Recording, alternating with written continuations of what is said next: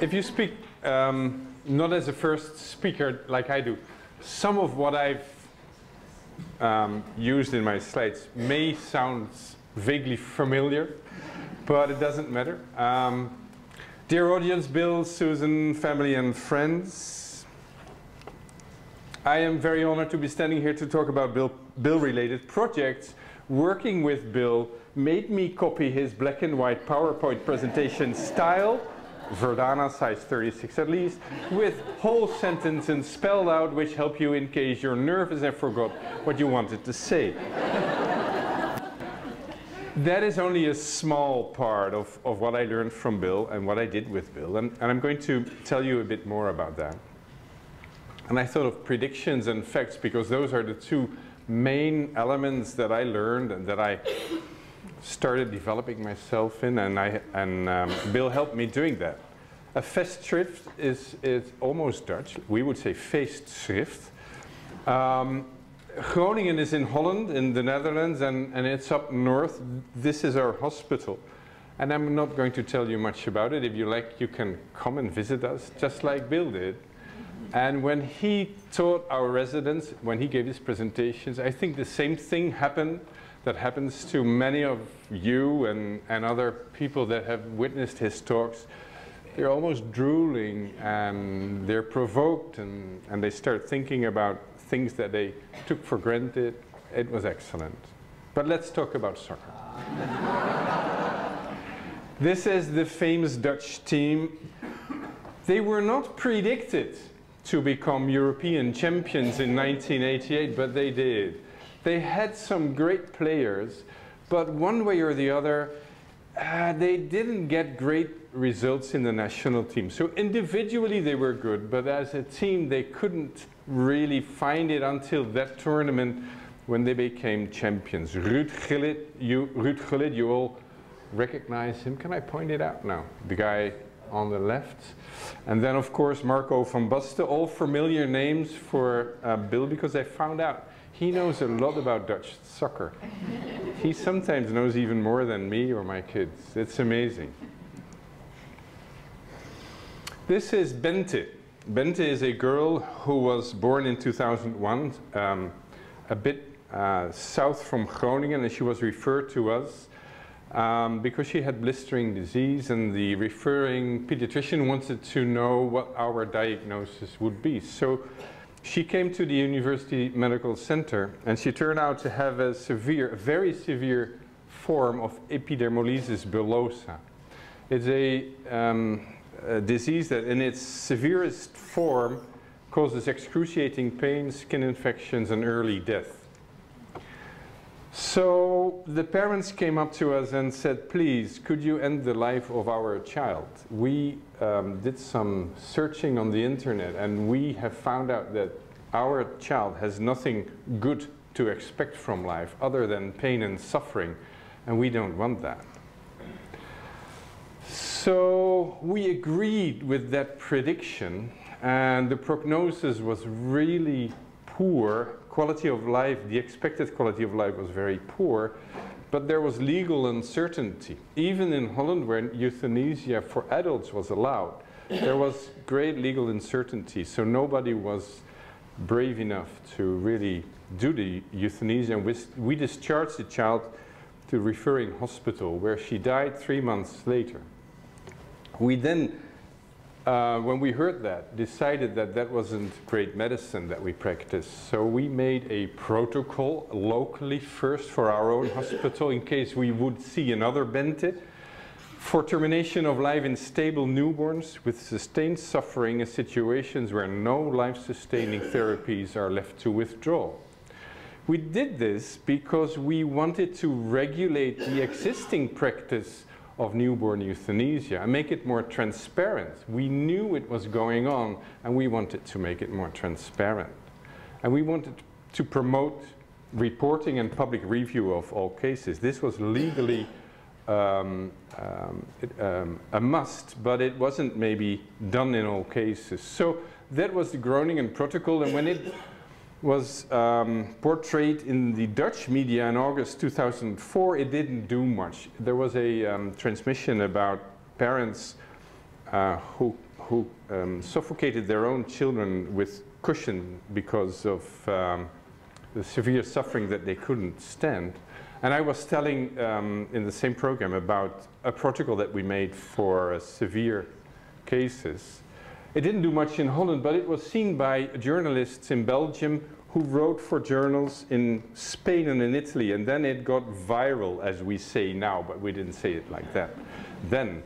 And it really got um, explosive when the Vatican um, started to get involved. The lower uh, picture is of the Osservatore Romano, who really is, which is the Vatican's uh, newspaper, who said basically that Verhagen was a, uh, a person even worse than the Nazis in the Second World War.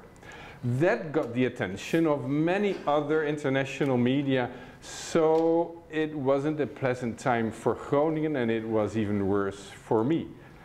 We try to inform the professionals um, by writing about why and how and, and telling a bit more about the context of of the protocol in the Dutch uh, legal and social system, but it was difficult. And at that time, when, I, when things were at its worst, I think, there was a guy in a conference in Toronto that I didn't know who was chairing a session of clinical ethics and there was an emotional and interesting discussion about the end of life, specifically the protocol. And, uh, and this was, of course, Bill Meadow after the um, session, he came up to me, he started talking. He was genuinely interested in the protocol and he was genuinely interested in me, which was um, very important for me to find out that people at conferences were interested in you. So uh, he said, let's do a research project. And, um, and there are many questions to be answered. Uh, for instance, the Dutch babies, are they different from the Chicago babies? We should try to find out. Are our doctors maybe different? The nurses, the parents, is it something else that explains why you're doing what you're doing? How actually do babies die? What do we know about it? We should do a cross-cultural comparison, and that is what we did. And we published about it. So we, we um, got a few people together, and, and most of them are in the room. And um, we set up a, a model that we could use to more or less similarly compare babies in all those units um, and see how decision making was different. And the model was based on physiology, stable or unstable, and the intervention of uh, withdrawing or not withdrawing life supportive treatment. And so this is what we found. We found that there were uh, similarities in withdrawing and withholding um, life-saving interventions in Groningen, Montreal, and Milwaukee. And Chicago really stood out. They never stopped the ventilator because of quality of life considerations, whereas the others did this in around 30 to 50% of cases. So a lot of babies that died did not die because we couldn't save them. They died because we chose electively to extubate them. And it was through this research that we got to the details of it. And we published it and got a lot of comments about it. Our conclusions, and you may recognize the build type of uh, uh, formulating is our approach is a better description of death and dying in the NICU than has previously been available. We believed in it and others too. Almost all NICU deaths are accompanied by some degree of withholding or withdrawing, but the physiology, physiologic st stability of dying infants varies within countries and between countries. Cross-cultural comparison in end-of-life practice is feasible and important when comparing outcomes between NICUs. And I think this is one of the key messages that we kept on repeating. It, it is possible to compare, and it's important to compare if you want to understand outcomes. We did also look at the use of comfort medication in dying, uh, dying infants, and we wanted to clarify comfort medication use and neuromuscular blocker use in, in different NICUs. And we found a lot of similarities.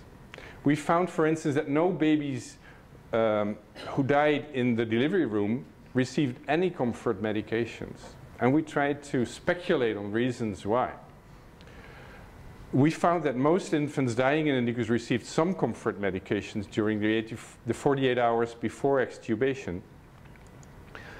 And we also found a lot of differences in type and dose of comfort me medication, the policy of initiating or increasing medication, and the use of paralyzing agents. And this is just an example that shows that, for instance, after um, extubation for quality of life reasons, in some units, medication, comfort medication is increased, but not in all. And so there are huge differences between units, and you don't know until you start gathering the data. So we concluded that given that dying babies tend to look alike, uh, independent of their geography, we speculate that other concerns like legal, norms, values may have influenced the physicians. We may be treating more than the baby with these palliative medication efforts. When you do international research like Bill does, it is imperative that you go to those units and countries and find out who's working there, what their families are like. So Bill visited us several times, and, and it was always a joy. He taught our residents a lot of things, and I'm very happy that he did, and we still profit from it. And of course, you need to go abroad. Uh, sometimes this is Geneva. You may recognize a lot of people on this slide, where, we, where Annie organized for us to reflect some time to reflect on ethical issues in um, uh, luxurious surroundings and um, I, you can see that Bill enjoys this. We did too. What happened afterwards? Well, we continued writing papers of the continuing importance of how babies die. And, and even today, we are still using the same model to compare decision making and outcomes in, in units around the world. Um, this is from people in Sao Paulo who approached me and asked us if they, if they could compare their um, decision making to ours. And we use this model, and, and, we're going to publish it soon. So it's still going on. I think it started with Bill um, finding me in Toronto and, and, and helping me um, uh, finding the joy in, in getting those data. Um, I think I might say that even our practice in our, the, the practice in our country has changed a bit. We used to be very um, early with our predictions in the NICU and um, withdraw um, life supportive treatment very early. But that has changed. We take the time now to do more interventions and find out really what the individual baby can do and what, what, it, what the parents want us to do. So this has really changed our practice and, and it will change even more. I even persuaded Bill in um, 2012 to do a prediction about the Dutch, Dutch soccer team because they were playing again great. We had some super players and I was convinced that we would again become European champions. And as a token of that I offered uh, Bill this scarf just to celebrate the coming um, championship. However, Bill was hesitant in his prediction. He said it's easier to predict what will happen once the tournament has started. And after the first games have been played, you might want to come back and I'll make a prediction, but not beforehand. And he was right. We played a terrible tournament, and so we were all very unhappy. I learned a lot from that, from Bill, and I used it, um, the soccer knowledge in, in practice, and I want to thank him for helping me getting there.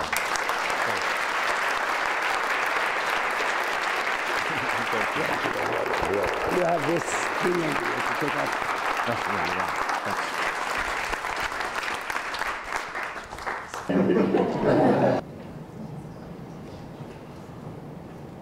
Bill Meadow has a curiosity about nursing care delivery and asked me to be his nursing preceptor.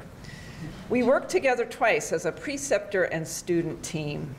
He was on time for 7 a.m. report he stood next to me, listening to the night nurse talk to us with a confused expression on her face.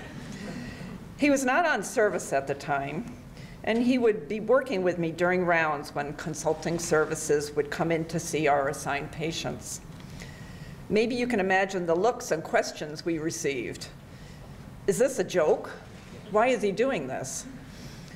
Wouldn't it be great if we could all learn about each other's work and be precepted in this way?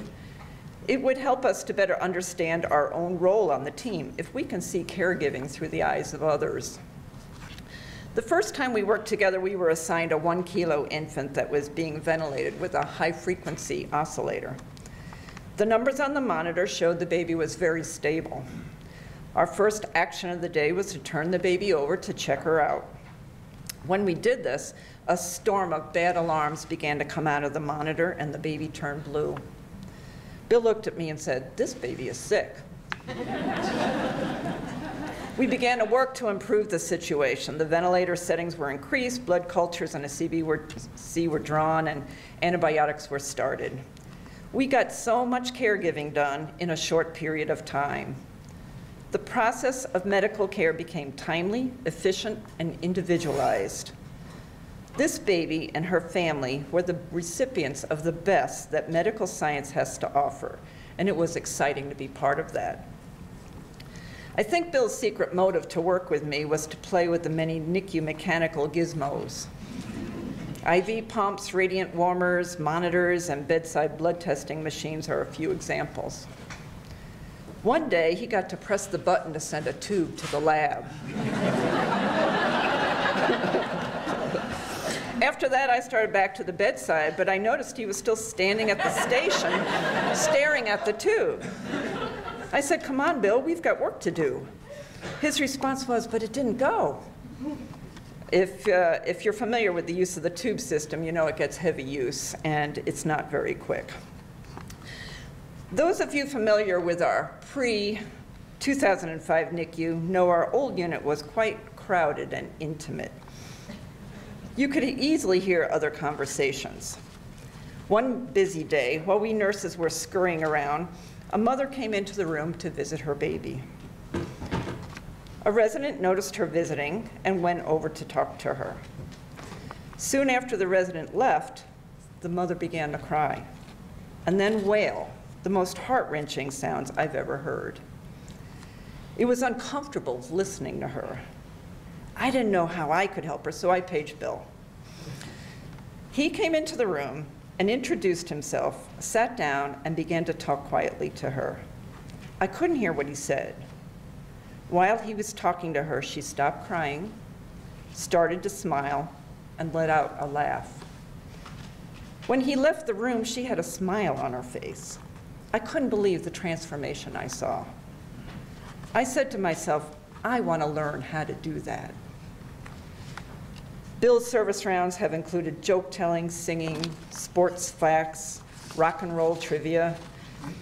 This may have surprised some people, but I've noticed his humor has a calming effect, especially on the first year July residents.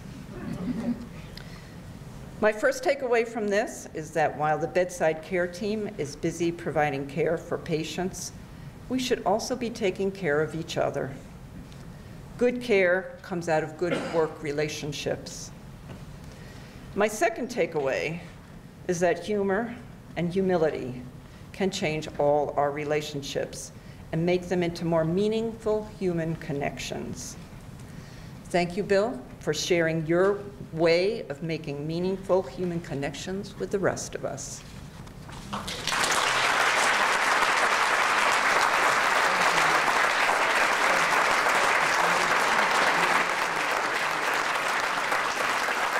a lawyer, was on the uh, faculty of the law school here for many years. Uh, sadly, has now moved to Harvard.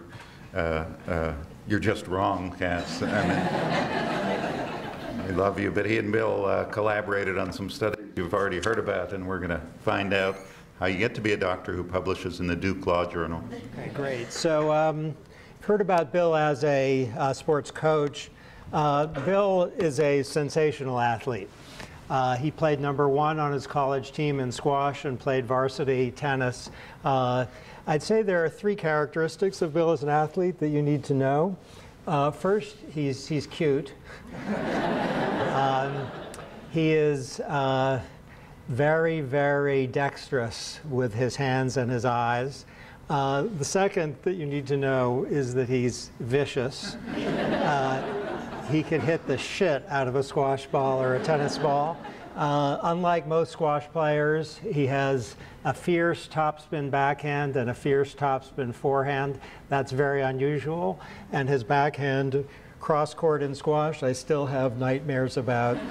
I'm screaming, and Samantha has to say, What happened in your nightmare? Bill hit that cross court again. But the third thing you have to know about Bill as an athlete is um, he actually cheats. I have to say.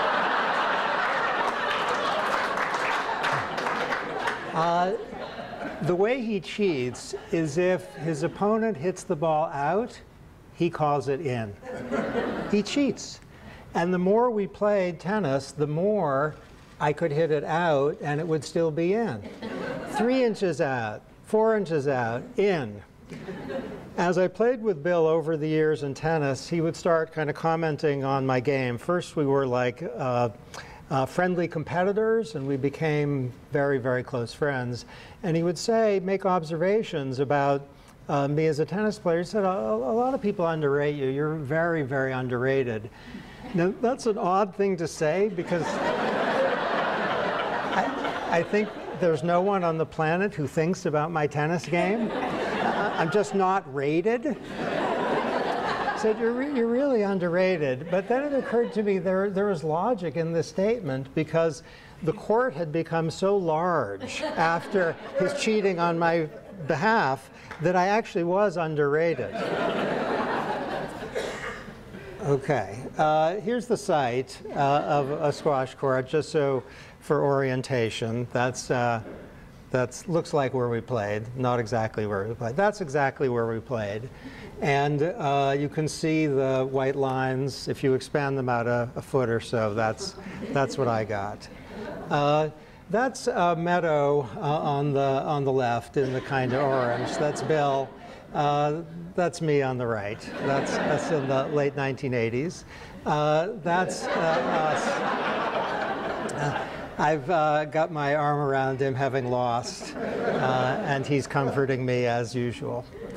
Uh, here's an abstract from the uh, Duke Law Journal. Uh, well, I should tell you the origins of this. Uh, first, we were really sports buddies, and he would talk about piglets. And I didn't quite know what a piglet was. Is that a, is that a small pig? Piglet? And, uh, so I had, he was doing some science thing. And uh, then it turned out he's like a great human being as well as a great athlete. And uh, turns out he does research also that involves human beings as well as piglets. And I got interested in uh, behavioral science, and we talked about this. Uh, so the uh, idea in our paper is that we really need to rely on evidence, not opinion. Uh, experts, as noted, make predictable errors. They're actually not just random errors, which is, would be interesting, uh, but they're systematically in the direction of optimism, which is to suggest that expert witnesses are systematically incorrect and excessively optimistic. Now that's a strong statement. Lawyers tend to be more equivocal with more mites and footnotes. Uh, that's uh, Bill's statement. So uh, uh we asked uh, two groups of experts. When I say will, we, I mean Bill. Uh, our paper asks, courtesy of the first author, Bill, ID doctors and ER doctors, how long until kids with meningitis get antibiotics. These are people, you know, are probably on average a bit more likely to nail the answer than expert witnesses who are paid. And uh, we asked, uh, we got these answers 56 minutes from ER doctors, uh, 87 minutes from ID doctors. The actual record suggests the average time is 93 minutes. Published reports suggest 120 minutes, which suggests that experts were long by a, wrong by a very large margin. That has consequences for the legal system. Okay, the upshot is whatever expert opinion means in this context, it's not accurate. Expert opinions were significantly shorter, and there's systematic bias toward the outcome perceived to be desired. Okay, here's another abstract from a journal I've not published in often. Um, but I think, I think Samantha will be pleased to hear that I've published once there. Uh, the frequency of antenatal, uh, and then there's this word that begins with C, uh, use for mothers with threatened premature deliveries versus recollections. And the same story there is uh, provided here, where expert opinions on use outside of a uh, courtroom, which is to say the expert opinions are more likely to be undistorted by uh, motivation. There you see an extremely large disparity across uh, four different time periods. Okay, so uh-oh is the uh, implication. The use of uh, antenatal Cs by obstetricians in the past 15 years shows a phenomenon widely recognized elsewhere. That is, retrospective memories are often wrong, and when they're wrong, they're not randomly wrong. I should say what Bill's contributed here is um, something very large in a context in which behavioral science has moved. The largest kind of psychological finding, at least in areas in which I work in the last three decades, I think, has been Kahneman Tversky's finding that human error is not randomly distributed, that there are systematic patterns that can be identified. That's new. Now define that with respect to where, eh, how many words have N as the first or third letter on a page. It's kind of interesting about cognition, but to show it actually has implications for how doctors think and how doctors who are likely to expert witnesses think and how the legal system behaves, that's a really big deal to show not random error but systematic error. Okay, so our proposal is that the standard of medical care should rely on data rather than recollections of experts about doctors' performances. Fallible memories of isolated experts are a crude second best, far inferior to the data that they approximate. I'm reading the full sentence here under Bill's tutelage. Widespread adoption of this view beep, beep, beep, by professional physician organizations would dramatically increase the rationality of expert testimony in medical malpractice tort law. Now, last I looked, there hasn't been widespread adoption of this view, and medical malpractice tort law hasn't gotten there. Uh, so the court system isn't there yet. But there's something actually quite larger that has gotten there which I think is uh, causally connected with what happened in the locker rooms in Chicago in the years where you saw the pictures, where there's a memorandum from the White House, and this is one of about five in which it is stated by the people in the White House that the president wanted an aggressive management agenda for his second term that delivers a smarter, more innovative, and more accountable government for citizens. And, and I'm just summarizing this quotation as a summary quote, by applying existing evidence about works, what works, generating new knowledge, and using experimentation innovation to test new approaches to program delivery. Now this is part of a bunch of things which are now hardwired into the DNA of federal government agencies. This isn't about you know a Democratic or Republican president. It's about the um, uh, inclusion of evidence-based judgments in the day-to-day -day operations of the federal government. In some ways, the most stunning aspect, if we can call it Meadows' greatest victory, except I think that 6364 yeah. time, uh, you, you crushed me back in 1997. Aside from that, is that uh, for budgets, the budget proposals now have a large component of something like what you saw in the statistics not memories and statistics not experts uh, work. Okay, here's something also from the White House, which in the fullness of time, uh, I think will deliver very, very large results.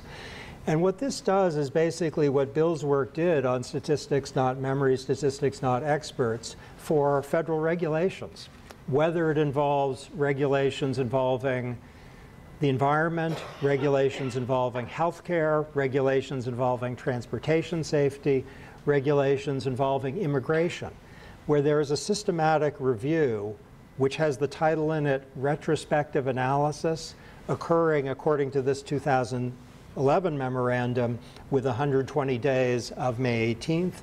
But much bigger and better, this is actually happening quietly within the federal government every six months where there's evidence-based retrospective analysis of what's happened, not with reference to doctors' judgments, but with respect to everything that the federal government does. Now, thus far, the presentation has been consistent with the theme of the Meadow Sunstein articles. That is, statistics, yes, memories, no. But I want to equivocate, equivocate a little bit. It is true that data is king. It either is 647686 or it ain't. That's true for medicine, law, and policy. There's a mantra now which combines the world of sports with the world of government. It's called Moneyball for government. And the idea really is to make this uh, systematic. And that is uh, the theme of the articles. Still, uh, I'm sticking with memories. On the right, it looks like a triumphant John McEnroe. My recollection is that is Bill Meadow. the guy with the really long hair, looking discomf discomfited having lost, that's me. and here's the real deal. On the left, you see someone with a big bright smile, unforgettable, smiling and comforting a loser who's smiling because he gets to be with the best sport, sports partner ever. Thanks.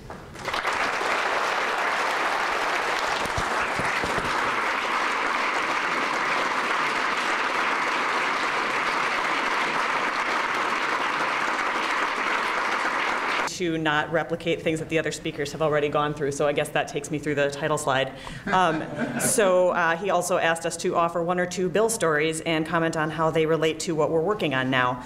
Uh, the problem with those instructions for me is that as a resident clinical fellow and research trainee under Bill, that doesn't narrow it down very much, everything I know about neonatology or research I learned here. So as anyone knows, oh, is this the clicker? Who uh, has rounded with Bill Meadow on 60 babies in under two hours. There is one way to get through rounds, which is with a 1 through 10 checklist. Before there was Atul Gawande, there was Number one, nutrition, NPO. Number two, fluids, TPN. Number three, on event, can't fool you, and so on. So as a proud and grateful former fellow, I present my personal 1 through 10 list of Bill Meadows' influences on my career. So the first is obvious here, breadth of teaching. I met Bill in 2005 when as a second year resident I had the great fortune of rotating on his service in the NICU, and I quickly learned why everyone begs to work with Dr. Meadow. His teaching skills are famous, enthusiastically covering everything from neonatal physiology, delivery room resuscitation, neurotransmitters, end-of-life conversations, the entire gamut. In an, in an, academic world where junior faculty members are coached that only a razor sharp focus gets you funding, it's Bill's energy and expertise on many topics that trains clinicians around the world and inspired me, like many others, to pursue neonatology as a career.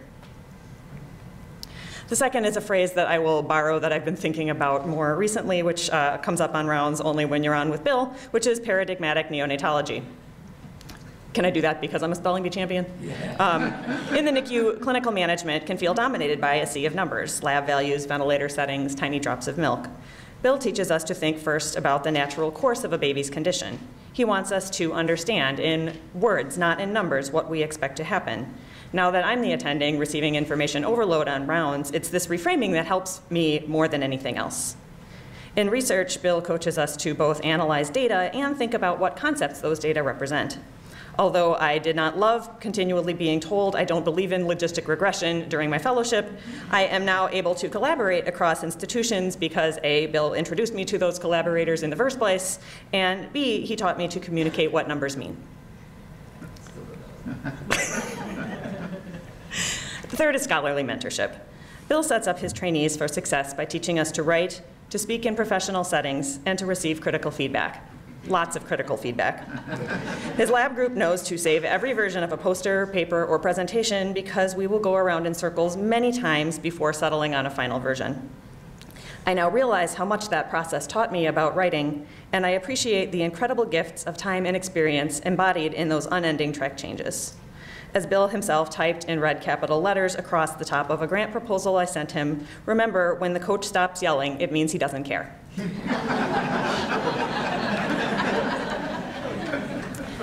Number four is career framing. Trainees and junior faculty in academics face the hurdle of trying to articulate how that one fellowship project we did now sets us up for a program of research. Bill always knows what the next paper is about, and the one after that. There is a reason why so many of us training at the University of Chicago end up working in neonatal ethics. He lays out the path so clearly and enthusiastically, it's hard not to join in. I can only remember one project that Bill suggested to the fellows, which did not conclude with, and then this will make your career, because, followed by an entire life plan.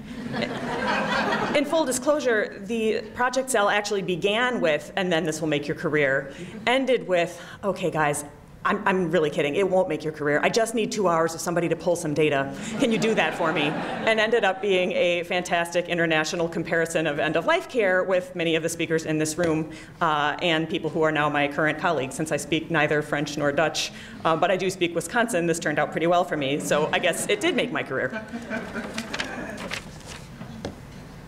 Oops. Uh, number five is collaboration over competition. In an academic environment, junior folks are asked to develop their personal niche and set themselves apart. Bill is adamant that the world is small, that the need for more research is large, that there is always room in the sandbox, and that collaboration is paramount. He models this behavior by the guidance he offers to people around the world. When I was first interviewing for a faculty position at the Medical College of Wisconsin, the department chair, who's, he's not here, right, uh, a famous and slightly intimidating neonatologist, asked me, how are you going to get out from under Bill? And now that I have the job, I can answer that question honestly, which is that I don't plan to try. Although some of us may move to other institutions, we never leave Bill Meadows' lab because you don't find such a productive and effective team anywhere else. So the next points are the central academic concepts I hope to carry with me from Bill's research, embedded in the introductory statement he makes in talks around the world. If suddenly you were forced to think hard about extremely premature infants, what would you want to know if you were a doctor, a health policymaker, or a parent? So that brings me to point number six, which is that outcome definitions matter. This sounds obvious in an ethics audience. Different people care about different health outcomes but it's not so obvious in clinical research. Major neonatal networks commonly report composite outcomes of either death or some major morbidity, for example, developmental delay or chronic lung disease. The rationale here is that infants who die before discharge don't survive to have some of the later complications of prematurity. Bill argues that from a parent's perspective, death or disability is not a relevant outcome. In fact, for parents debating whether or not they want physicians to attempt resuscitation of an extremely preterm infant, death is not the worst outcome if it means they gave their baby a chance. Point number seven is that although outcome definitions matter, complex statistics do not. This is a this is a bittersweet lesson for me after completing a master's degree on this campus. But the best thing that happened to my academic training was learning to analyze large data sets here while working with Bill studying the ability of healthcare providers to predict outcomes for individual patients. We get pushback at national meetings for putting clinical intuitions in the same category as a more, quote, objective test, like imaging or a lab value. But it seems to a clinician reasonable to think that a doctor in the NICU is as likely to act on their own intuition as on the results of a blood count. Bill meets resistance at Thursday conferences when he says repeatedly the only thing that matters is positive predictive value. But for a patient or a parent, it's true. And once we start comparing the ability of a clinician's intuition versus another test to predict an outcome, suddenly it doesn't make a lot of sense to report that somebody's clinical intuition is 1.2 times plus or minus something more likely to predict an adverse outcome. All you want to know is what's going to happen. And so from that, I conclude that research, research results should be presented according to who's asking the question. Point eight is, was the hardest one for me to come up with how to summarize this, and it's that outcome prediction ability varies over time. Having done my residency and my fellowship here, I always took the clinician intuition study for granted. Uh, many people in this room know this study every day on every ventilated patient. Friendly postbac students offer candy in exchange for clinicians' predictions of whether or not the infant will survive to discharge or die in the NICU. Intuitions are only collected on that day if the infant is on a ventilator, because those are the infants for whom a decision about withdrawing intervention is ethically relevant. That all felt straightforward to me until I was presenting a poster and someone asked me whether or not those clinical intuitions predicted developmental delay because they were a proxy for other things that were known by the clinicians. So in trying to answer that question, I tried to figure out how one might present clinical data like intuitions in the order in which it was known to the clinician. I learned a few things during that process. First, there is a reason why few people other than Bill Meadow study things like changes in predictive ability over time. That's really hard. Second, some pieces of the quote gold standard predictive information, like gestational age, actually become unimportant over time. And unless you're Bill Meadow, that's very hard to sell to an audience. Third, more broadly, it's possible and important for any research question to think not just about what the question is, but when a decision might be relevant, and tailor your study accordingly. Number nine, if an outcome is uncertain, who decides what to do next? So this is embedded throughout Bill's work. Anyone who's heard him speak knows this line, hi ma'am, I'm Dr. Meadow, your baby is very sick and I think is likely to die. We here at the University of Chicago study these things and you should know that I'm wrong half the time. in the context of predicting death in the NICU or in predicting a spectrum of developmental delay, it makes sense to most audiences that parents should then decide whether to continue NICU intervention. But this speaks to the clarity of Bill's message. There are many questions in neonatology where our outcome predictions are poor and our clinical decisions have consequences for families, yet it's rare to conclude that parents have a voice in that decision making. So as I carry Bill's lessons forward, I've been learning how these teaching points might be applied to other clinical research questions. As I finished fellowship and was looking for a project, Bill put me in contact with uh, folks at the Pediatrix Medical Group, a large private neonatology group with detailed de-identified electronic medical record data on 20% of all NICU patients in the US. In an example of networking at its best, Bill just happened to know their head of research from having sung together in a men's choir at Amherst.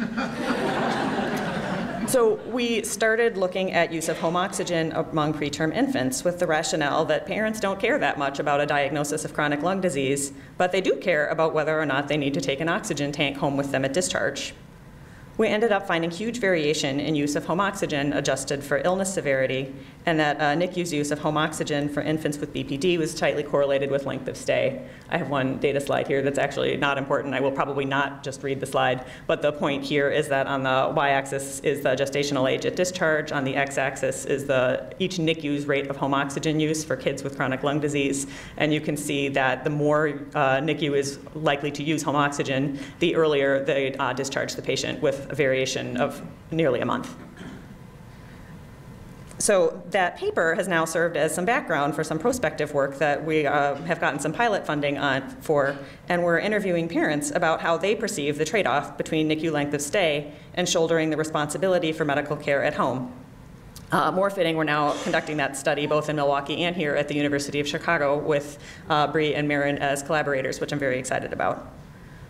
So there are so many more Meadow rules that I should list. Uh, for example, Beanie told me recently that I have violated the Meadow rule of childbearing.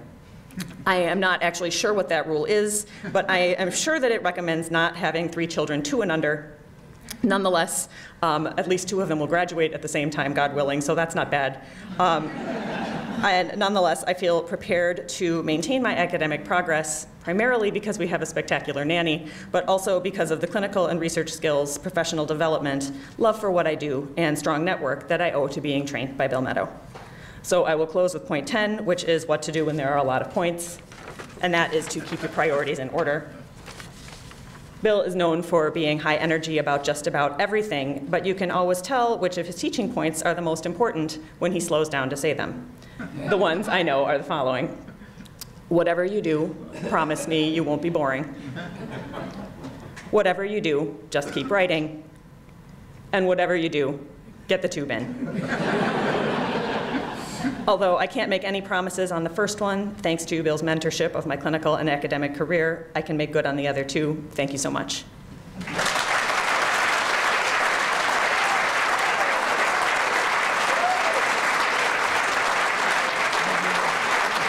Uh, coming down the home stretch here, uh, thanks to all the speakers, wonderful, uh, wonderful presentations.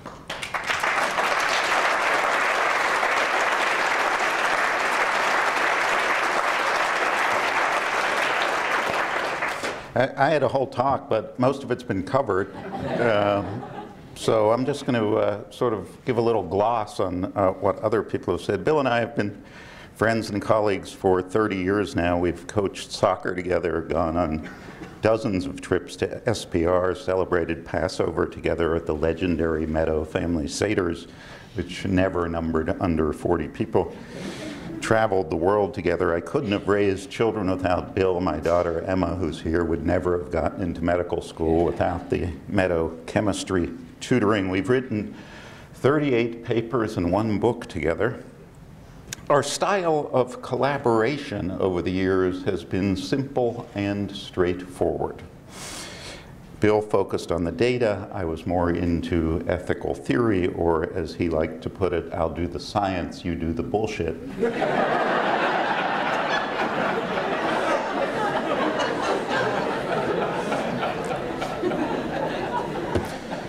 it, it, worked well. Uh, I mean, as you've heard, Bill is a bit of an iconoclast. I mean, the story of uh, uh, the trip to McGill in Canada is uh, now the stuff of legend. Uh, people didn't talk much about what he actually addressed when he was there. I mean, he challenged the prevailing practices. He uh, defended slow codes, which he was well practiced at doing after sparring with Lainie. I think he even suggested that all 23 weekers should be resuscitated, which was not at that point the uh, prevailing practice north of uh, the border. And as you heard, he was um, banned from McGill for life as a result of these uh, radical opinions. But, but that wasn't the end of it, actually. Uh, after he left McGill, the uh, director of the bioethics center there, a lawyer named Kathleen Glass, was so horrified at what the students had been exposed to that she called an emergency meeting of the first year class, the ones who had attended Bill's lectures, to explain why Bill's ideas were not just completely wrong, but dangerous. In fact, uh, Bill was treated, in essence, like a bioethical toxic waste dump. Students who were exposed had to be uh, de decontaminated. I've seen uh, Bill shock audiences at scientific meetings as well. One year he and I were on a panel at the PAS, the Pediatric Academic Societies meeting about the ethics and the efficacy of treating babies at the borderline of viability. And it was uh, put together by the NICHD and had uh, a lot of people who believed in uh, uh, linear regression and that sort of crap. Uh, the first speaker was Rosemary Higgins, the head of the NICHD Neonatal Research Network, and then John Tyson, who had done phenomenal work developing the neonatal calculator that we saw earlier. Uh, and then Bill came up, and he went up on the podium with his Crocodile Dundee hat and started his presentation by, by singing a rousing rendition of Smokey Robinson's hit, Baby, Baby, Don't Cry.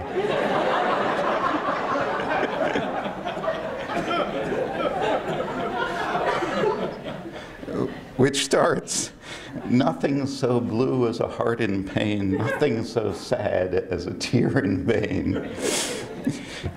Um, Af afterwards, one of the other panelists, I think it was John Tyson, took me aside and said, you've, you, have you have got to tell him he can't do that.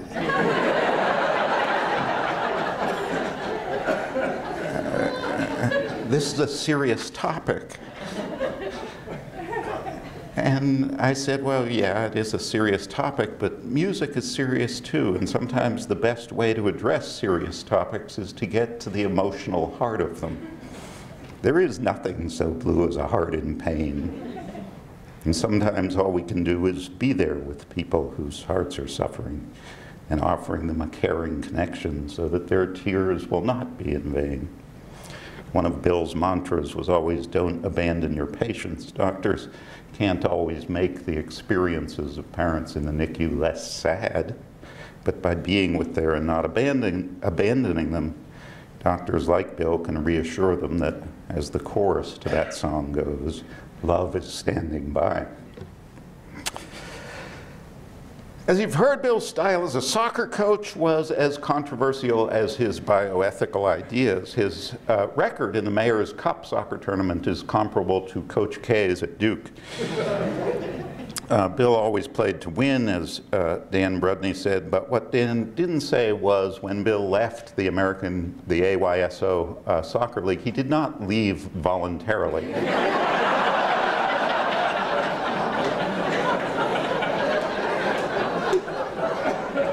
In fact, I, I, think it's the case that he is the only AYSO soccer coach who has been banned for life. And people have talked a lot about his compassion in the NICU, uh, not on the soccer field. uh, I didn't have the experience of working with him when he coached the boys, but uh, my daughter Emma and Beanie Meadow were on the same team, and, and coaching girls is a, is a different beast than coaching boys. Uh, you know, girls think that if you cry, people will like pick you up and hug you. It's you know the way that Bill's style was, stop crying or get off the field. You're in the way. Now, as, as, Dan Brudney said, the Hyde Park Red Dog parents spent many Saturday mornings together in really bad weather in really bleak suburbs. the Red Dogs were one of the few teams to focus on a primarily defensive strategy, uh, sort of like the Italian national team. Our strategy was sort of like, and this is going to be an extended metaphor, so bear with me. It was sort of like that used by Muhammad Ali against George Foreman in the Rumble in the Jungle, the championship fight in Kinshasa, Zaire in 1974. That fight, as I'm sure you all recall, uh, was one in which Ali was the underdog. The 25-year-old George Foreman was heavily favored to pummel and destroy the aging Muhammad Ali. Ali had a strategy, though. He let Foreman pummel him for the first six rounds mercilessly, and in each round, Ali would get him in a clinch by the ropes, and he'd whisper in his ear, Is that all you got, George? I thought you could hit hard, George. Is that all you got? And Foreman took the bait, trying to hit harder and harder for six rounds, and Ali just took the blows. And in the seventh round, he came out swinging. Foreman was exhausted, and Ali decked him. Why am I telling you this? Bill's Hyde Park Red Dogs used a similar rope-a-dope strategy. We would pull back on defense with Beanie Meadow at the center and let the other teams take numerous wild shots, and we would hope that just once Ali Brudney would get a would break away for a goal. And when she did, Bill's coaching genius really became apparent. In club soccer, unlike in more organized leagues, you may know there are no ball boys. So if you kick a ball out of bounds, someone has to run after it and, and bring it back. So if we got up by one goal, Bill instructed the girls to kick the ball as far as they could out of bounds every chance they got, and then they would rest, fall back, reset while the other team fetched the ball. It was, it was a very effective strategy, but of course raises a serious ethical question. Uh, was it good sportsmanship? Was it fair? Well, as we say in ethics, it was a bit of a gray zone. So we've done a lot of work together in gray zones of one sort or another. Such work is not for the faint of heart. There's a lot of heartache, but thanks to Bill's wit, creativity, and moral courage, there has also been a lot of joy. Many grateful parents and students and a community here in Hyde Park and all around the world that recognizes Bill as a devoted teacher, a selfless colleague, a brilliant mentor, and a true friend. These have been um, tough weeks, or tough months, as you know, for Bill, so I'd like to just end with a uh, Jewish prayer for healing. Um, uh, some of you may know this prayer, Mi Shebeirach, Mi Shebeirach Avotenu, Makor Habracha Le'imotenu. May the source of strength who blessed the ones before us Bless those in need of healing with refuah shlema, the renewal of body, the renewal of spirit. And let us say, Amen. Thank you all for coming to honor Bill and celebrate together. You're terrific. This has been great. Beyond anything I could have imagined. And that was good soccer strategy.